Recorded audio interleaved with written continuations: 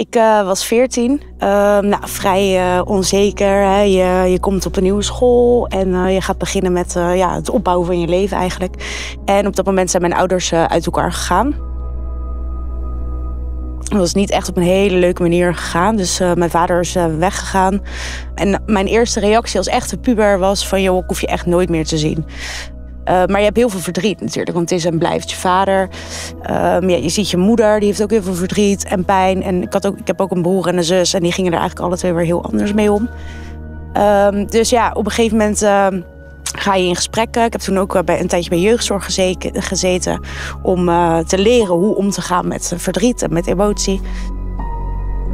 Wat mij toen uh, sterker heeft gemaakt is vooral uh, uh, de vriendinnen die mij echt wel hebben meegetrokken. Die hebben echt gezegd, joh, kom Tess, we gaan nu even lekker eruit. En daar ben ik wel echt achter gekomen dat het ontzettend belangrijk is.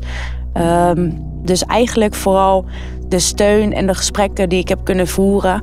Um, die echt wel nodig zijn om jou soms eventjes mee te trekken. En dat heeft mij heel veel geholpen om uiteindelijk te zijn waar ik nu ben uiteindelijk toch voor gekozen om weer contact met mijn vader eh, op te nemen. Omdat het, ja, het is je vader, je houdt heel veel van hem.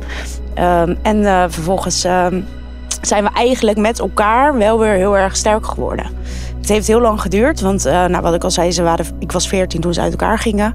En toen ik 20 was, toen was eigenlijk het eerste moment dat het weer een beetje oké ging. En dat was voor mij een moment dat ik dacht, ik wil een tatoeage. Het is eigenlijk één rechte lijn tussen mijn schouderbladen. Um, en er zitten drie driehoekjes uh, aan uh, vast aan de onderkant. En ik ben dan het middelste, middelste driehoekje. En mijn vader mijn moeder, alles in een ander driehoekje. En ondanks alles toch nog één lijn en met, altijd met elkaar verbonden. In het leven gaat niet altijd alles over rozen.